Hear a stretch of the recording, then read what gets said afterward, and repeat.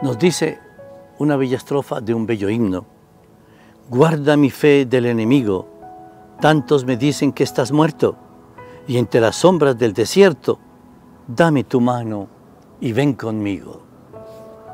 Y el Señor viene con nosotros, y en su palabra nos da entonces esa presencia viva, esa presencia de amor y de gracia. Del Evangelio de San Mateo capítulo décimo, de los versículos 16 a 23. En aquel tiempo dijo Jesús a sus apóstoles, Miren que los mando como ovejas entre lobos, por eso sean sagaces como serpientes y sencillos como palomas. Pero no se fíen de la gente, porque los entregarán a los tribunales, los azotarán en las sinagogas y los harán comparecer ante gobernadores y reyes por mi causa. Así darán testimonio ante ellos y ante los gentiles.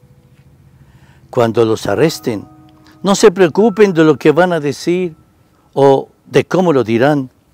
En su momento se les sugerirá lo que tienen que decir. No, serán ustedes los que hablen, el Espíritu de su Padre hablará por ustedes. Los hermanos entregarán a sus hermanos para que los maten, los padres a los hijos.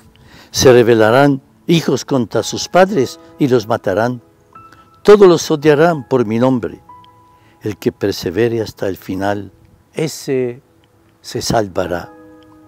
Cuando los persigan en una ciudad, huyan a otra, porque les aseguro que no terminarán con las ciudades de Israel antes de que vuelva el Hijo del Hombre. Palabra del Señor. Gloria a ti, Señor Jesús. Se dice que el lobo está como escondido y desde su madriguera mira dónde está el objetivo para atacar. Así podemos decir que nuestras ciudades, nuestras poblaciones, nuestras casas y nuestros corazones están asediados por lobos que están al acecho, pero silenciosos, y atacan de una manera feraz, cuando menos lo pienso, cuando menos lo he tenido en la cuenta. Por eso entonces el Señor nos dice, debemos estar preparados para luchar contra el lobo, contra aquel que viene precisamente a destruir nuestra vida, a echarla abajo, a hacernos realmente caer. Por eso el Señor nos dice entonces que debemos estar siempre preparados. Y nos dice y a veces los padres contra los hijos, los hijos contra los padres, y lo estamos viendo. Pero el Señor quiere que nosotros seamos apóstoles de la reconciliación, de la unión, de la cercanía, apóstoles de una verdadera vida de amor y de gracia, de ayuda a todos los que nos rodean. Por eso, Señor, nosotros queremos ser fuertes. Por eso tú nos dices en el Evangelio, sean prudentes y sencillos.